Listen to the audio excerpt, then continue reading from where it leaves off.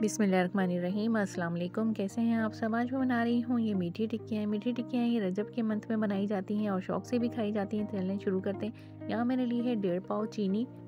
यहाँ पे मैं इसके अंदर ऐड करूँगी 200 हंड्रेड मिल्क। इसे मैं अच्छी तरीके से इसमें मिक्स करूँगी और थोड़ी देर के लिए छोड़ दूँगी। तकरीबन आधा घंटा, एक घंटा इसे हम रेस्ट के लिए छोड़ देंगे ताकि चीनी हमारी जो है मिल्क के साथ अच्छे से मेल्ट हो जाए।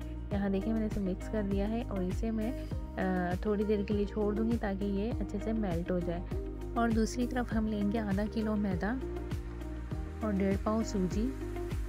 अभी यहाँ पे मैंने आधा किलो मैदा ले लिया है, डेढ़ पाव ये है सूजी। सफ़ेद तिल में लूँगी टू टेबल स्पून भर के। ये देखें, सफ़ेद तिल है, ये टू टेबल स्पून है, ये मैंने भर के लिए हैं। हाफ़ टेबल स्पून इसमें मैंने ली है पिसी हुई इलायची। चार टेबल स्पून इसमें मैं इस्तेमाल करूँगी देसी घी का। यहाँ पे मैंने चार टेबल स्पून इसमें ये देसी घी भी ऐड कर दिए हैं। अब इन सबको मैं अच्छी तरीके से मिक्स कर दूँगी।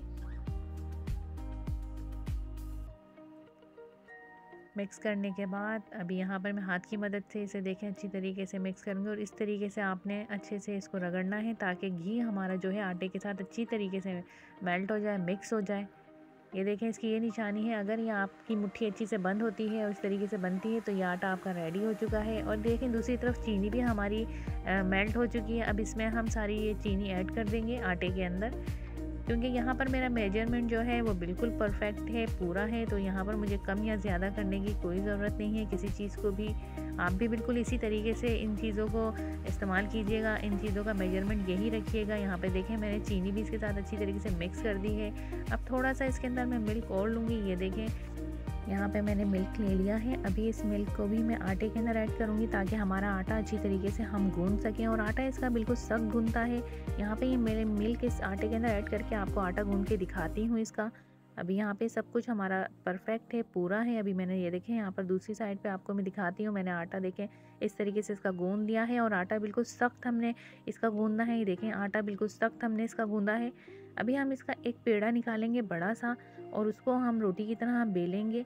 यहाँ पे देखें मैंने एक बड़ा सा पेड़ा इसका ले लिया है और दूसरी साइड पे मैं इसे रोटी की तरह देखें, इस तरीके से मैं बेल रही हूँ।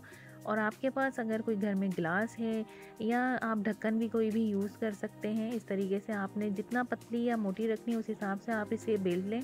और यहाँ पे मैंने इस ढक्कन की मदद से देखें, इसकी कटिंग कर ली है, इस तरीके से गोल गोल टिक्कियाँ हमारी रेडी हो रही हैं, मैंने ये देखें गोल गोल टिक्कियाँ भी बना ली हैं, आप भी इस तरीके से बना सकते हैं, ये सिर्फ़ मैं आपको दिखा रही हूँ, बाकी जो भी है मैं आप बाद में इनको सब बना लूँगी फ्राई कर लूँगी, आपको सब दिखाऊँगी, लेकिन बनाना किस तरीके से है ये मैं आपको बता रही हूँ, ये जो बकाया हमारा साइड में आटा बचा है, इसको भी देखें, मैं एक बेड़ा बना रही हूँ, ये भी हम इसी तरीके से इस्तेमाल करेंगे, दोबारा रोटी बेलेंगे और इसी तरीके से इसकी भी हम टिक्कियाँ बनाएँगे। दूसरी साइड पर मैंने ऑयल गर्म कर लिया है ऑयल का टेम्परेचर जो है आपने लो रखना है, ज़्यादा हाई नहीं करना है ऑयल बस हमारा गर्म होना चाहिए।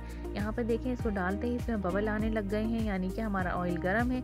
लेकिन हमारा ऑयल जो है वो ज़्यादा तेज़ नहीं है। आपने मीडियम टू लो से भी बिल्कुल लो रखना है। ताकि अंदर से भी अच्छी तरीके से हमारी टिक्कियाँ पक जाएँ। यहाँ पे इन्हें पकते हुए तकरीबन पाँच मिनट गुजर चुके हैं। ये देखें, माशाल्लाह, बहुत अच्छा कलर भी आ चुका है, पक भी चुकी हैं।